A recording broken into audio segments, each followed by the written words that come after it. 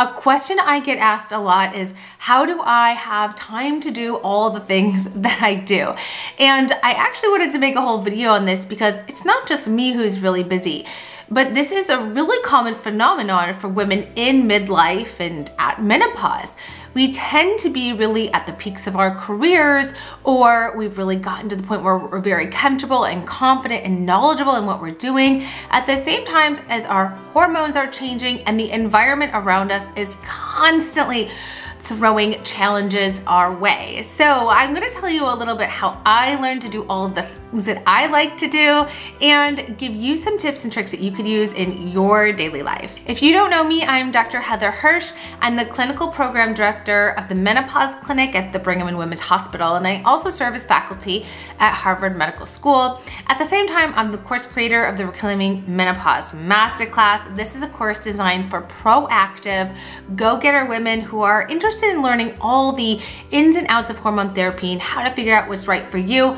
More about that at the the end. You can watch this video if you're interested in that. So I wanna tell you something that I read that really changed my life when it came to productivity.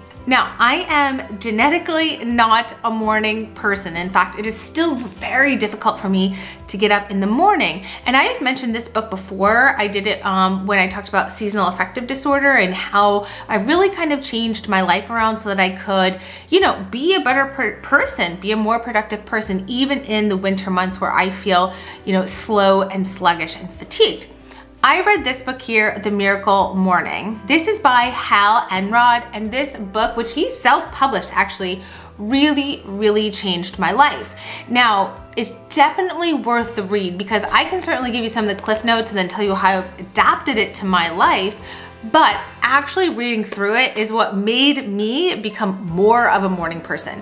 Now, has it stuck around in its entirety? Eh, hard to say, but let me tell you some of the principles of this book and how it's really helped me be able to achieve all the things that I wanted to do and also have some time to relax and just be human. So what I took away with it is that there is five principles that help me feel really energized and productive that help me to not only have a full-time job at my hospital and see patients there, but also be a mom of three small kids and a wife, as well as YouTube and podcast.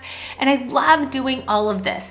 And quick shout out to subscribe to the channel if you haven't already because as I see you guys really liking this type of content and wanting more, it really gives me that mojo, that motivation to keep doing it for you. The five key principles in like the miracle morning, and I'll tell you kind of how I've adapted that, is uh, incorporating these in your day in some way. It's meditation, reading, affirmations, writing, and exercise. Now, when I first read this book, I got up at like 5.30 in the morning and I would make sure that actually I had my coffee set to brew at like 5.25 so that when I came down the stairs, I could smell the aroma of coffee. That is literally the only way that I will still get out of bed and I would start with meditation. I am not good at meditation. It's something that's really hard for me to do, quiet my mind, but what I found really helpful for meditation is guided meditation. Now I do this on the Peloton app. This is totally not sponsored. It's just what I've been using and I actually got my bike um, in 2019, uh, pre the world changing. Um, and on the Peloton app, which actually I think you can download even if you don't have, you know, one of their bikes or treadmills, there is some phenomenal guided meditation practices which I've really been able to incorporate in my life. And I think it's really key to actually just tapping into the mind potential that you don't even know that you have. So if you haven't meditated before, I definitely recommend starting out the way I did, which I'm still doing, which is guided meditation, even five minutes a day. That's all that I do. I've also turned this into guided meditation at night because for many of my patients and my students, it's when we get into bed that we start ruminating, we start thinking, we start trying to solve all of our problems when we get into bed. So I also do a five minute sleep meditation and it has really been such a game changer in allowing me to fall asleep so much better. The next thing that I do is I journal, and I've always been someone who likes journaling. In fact, if you watch my videos before, you know that I talk about journaling and tracking all the time, especially when it comes to periods, symptoms, hot flashes, mood swings, etc. But I really, really love journaling. I usually start with just like my thoughts and just kind of letting them settle out, whatever was in my mind and actually writing it out. And then it actually turns into something really magical. A lot of the time I don't know that I'm tapping also into something like really where I want to get into or I have this deep-seated idea and being able to write and journal really helps me bring this to light. I also do some affirmations and affirmations sounded really, really cheesy to me when I first started.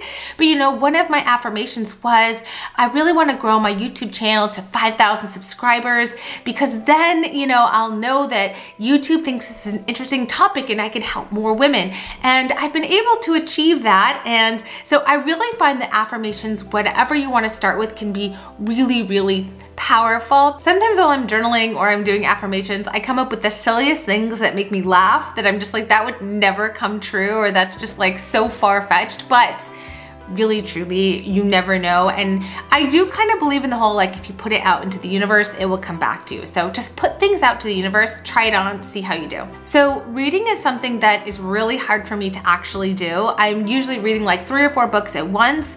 And you know sometimes when I just only have 20 minutes to myself in the morning which is on a good day I don't really have time to read. So in all honesty, sometimes I do either skip this one or gloss over it, but that means I might actually read what I wrote in my journal yesterday because I've got my journal right in front of me. So that's really helpful. If you're someone who likes to read religious material, the Bible, even if you just read a passage or two, it's absolutely going to set your day off in just a completely different foot.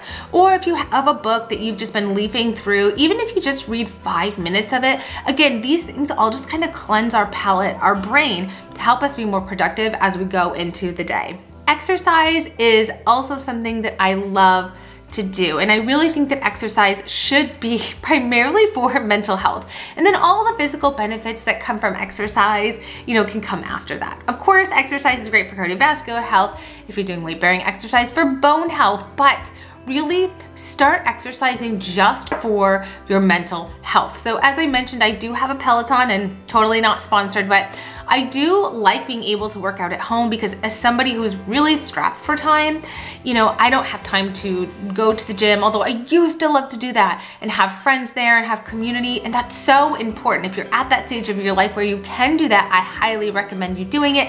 And I may even get back into that, I'm sure at some point when my kids get a little bit older. But for now, I really kind of have to exercise at home. You don't have to have a Peloton to exercise at home. You can literally just have a yoga mat. And sometimes I actually just do yoga right behind me when I don't really feel like pushing it or elevating my heart rate. But even just stretching or moving or getting blood flowing is so, so helpful. So I highly recommend that you do that. The other thing that I do is I really don't overthink things. In fact, if you guys have been watching my YouTube for a while, or if you listen to my podcast, and I will put the link in the description below because it's so much fun, I really don't try to over edit things and really actually it's because I don't have time.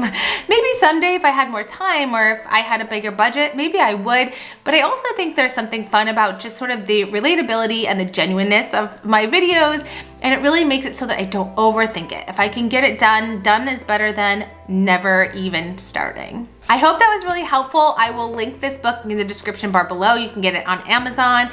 It's really life-changing. And I really think that anything that you can do to help yourself be your best, especially in midlife when there's so many demands placed upon women and our bodies are physically changing, anything you can do to give yourself like a one-up or just some tips and tricks, so helpful. So if that was helpful, let me know in the comments below. If you want to learn more about the Reclaiming Menopause Masterclass and get support with yours truly when trying to figure out hormone therapy and navigating perimenopause and menopause, definitely, again, click that link in the description and I'm gonna be there on the other side to help to see if it is the right fit for you. Also, check out my podcast. It's something you can listen to while you're driving and it's super raw and we have tons of fun over there. Thank you guys so much for watching. Thank you for subscribing to the channel. If you haven't already done so, please feel free. It's free to do so. You can always change your mind later. And as always, thanks again for watching, guys. See you next week.